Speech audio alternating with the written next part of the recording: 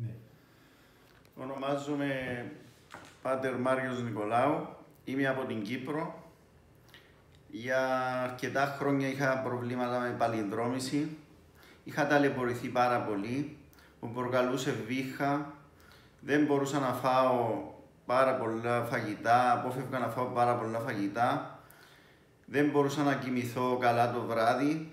Για πολλούς μήνες, τους τελευταίους 8-9 μήνες, ε, κοιμόμουν στο, ε, σε πολυθρόνα. Ε, είχα πάει σε πολλούς γιατρούς στην Κύπρο. Είχα πάρει πάρα πολλά φάρμακα. Είχαμε δοκιμάσει όλες τις θεραπείες με φάρμακα, αλλά χωρίς αποτέλεσμα. Ε, προς το τέλος του 2018 τα, ε, είχα σχεδόν χάσει τη φωνή μου από τα οξέα. Ο τωρινολαριγκολόγος μου είπε ότι πρέπει οπωσδήποτε να γίνει κάτι με την παλινδρόμηση.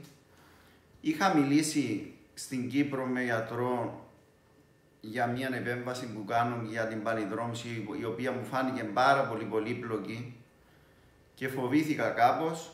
Μετά είδα στο ίντερνετ ε, ότι ο κύριος ε, Νίκος Ελευθεριάδης, ο γαστεντερολόγος, ε, εφαρμόζει μια μέθοδο γαστροσκοπική, εύκολη, ανέμαχτη ε, και αποφάσισα να μιλήσω μαζί του. Μιλήσαμε στο τηλέφωνο και στο διαδίκτυο, συνεννοηθήκαμε, του έστειλα όσες εξετάσεις είχα κάνει στην Κύπρο είδε την περίπτωση μου και στις 22 Ιανουαρίου του 2019 ήρθα στη Θεσσαλονίκη. Ε, μπήκα σε κλινική το βράδυ, στις 21 του μήνα το βράδυ. Την επομένη ημέρα το πρωί έγινε η επέμβαση. Ήταν μια πολύ εύκολη επέμβαση. Ένιωθα πολύ καλά μετά την επέμβαση.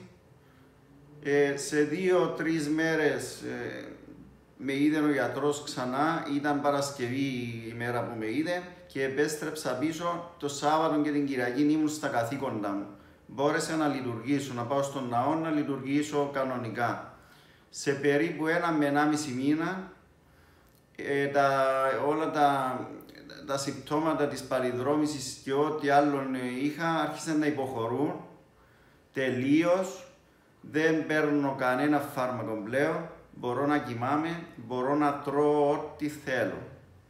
Θέλω να ευχαριστήσω πάρα πολύ τον γιατρό, τον Νίκο τον Ελευθεριάδη, που με βοήθησε. Ευχαριστούμε πολύ.